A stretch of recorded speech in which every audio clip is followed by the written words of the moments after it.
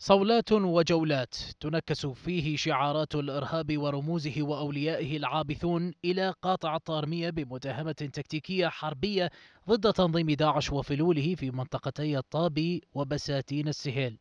يفتح القائد العام للقوات المسلحة صناديق الخبرة المخابراتية وبمعلومات دقيقة تستهدف أحدى دور الإرهابيين بتنسيق بين قيادة عمليات بغداد والقوة الجوية وطيران الجيش وتفاعل اللواء التاسع والخمسين الفرقة السادسة في العشرين من شباط 2021 وثقت وحدة دراسات العراقية في مركز الروابط للأبحاث والدراسات الاستراتيجية العملية العسكرية والأمنية في الميدان لتكشف عن النتائج التالية.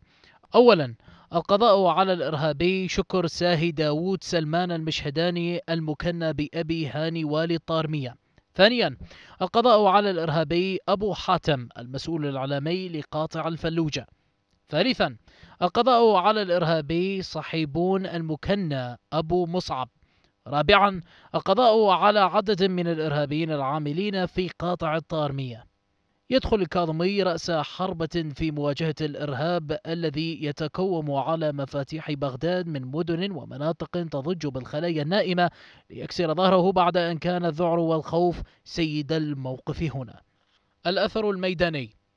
تميزت هذه الصولة الأمنية بعدة معاني وأعطت انطباعا ميدانيا.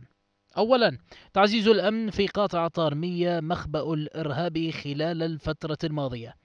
ثانيا تواجد رئيس الوزراء ميدانيا حرصا منه على تنفيذ المواجهة ضد قيادات الإرهاب بدقة ونجاح. ثالثا أهمية المعلومات الاستخبارية التي صنعت نجاحا كاملا بخطة أمنية محكمة. رابعا التوغل في جسد التنظيم وصناعة الخرق الأمني والنجاح في إدارة العمليات الخاصة. خامسا أثر العملية على القواطع القريبة من بغداد وحماية مفاتيح العاصمة من مواجهة قادمة. سادسا التلاحم بين القيادات الأمنية ومقاتلي الحشد العشائري. يصنع دافعا وجدانيا للتواصل الشعبي والتلاحم مع الأمن. سابعا قطع رأس الزخم للتنظيم الإرهابي وأضعاف أدواته وتواصله مع أبناء الشعب العراقي. مفاتيح بغداد الأكثر أهمية للعاصمة واستقرارها. يستغلها الإرهاب طيلة الأوقات الماضية لكن تحدي المواجهة قلب موازين المعادلة بما يخدم أمن وتلاحم العراقيين.